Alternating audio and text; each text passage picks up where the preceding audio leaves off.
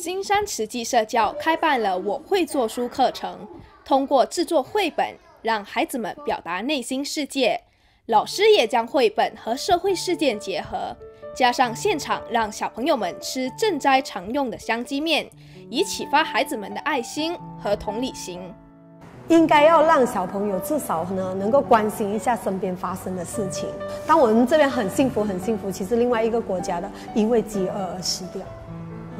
嗯，这这就是为什么想要突然间想要带，就是很希望小朋友在这个年纪也能够去关心一下这世界另外一端发生了什么事情。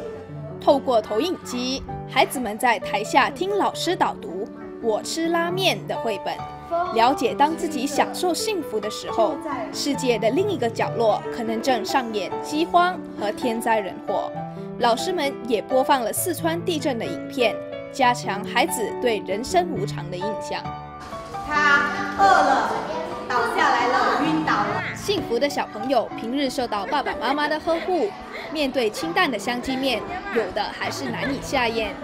他讲不好吃啊，就不要吃哦。哎呀，我要这样，这样没有胃口了。在听说香鸡面的赈灾用途和意义之后，更多小朋友是一口气把它吃完。